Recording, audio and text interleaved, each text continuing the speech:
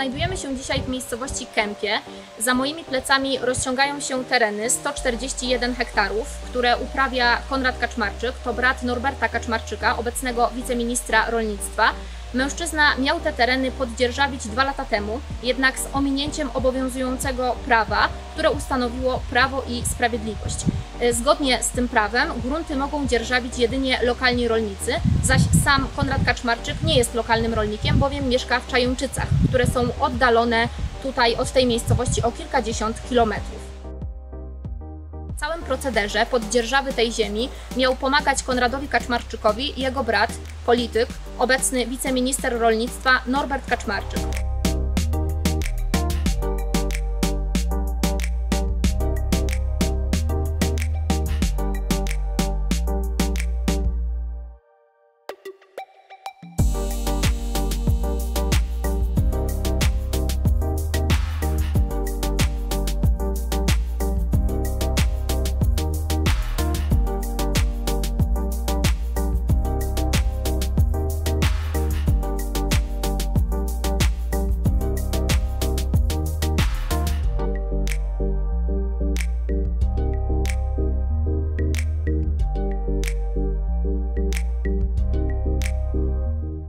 Tutaj wiedzieli o tym, że e, minister Kaczmarczyk, a dokładnie jego brat, e, będzie poddzierżawiał to pole. Tak, no, no to było głośno, nie? To było głośne, bo wcześniej to prowadził yy, gdzieś od Zamościa był taki kierownik, nazywał się Gonder. No i tutaj jakiś nowy, no, przyszedł. No i uprawia, ale z ciężkim sprzętem to trwa ile?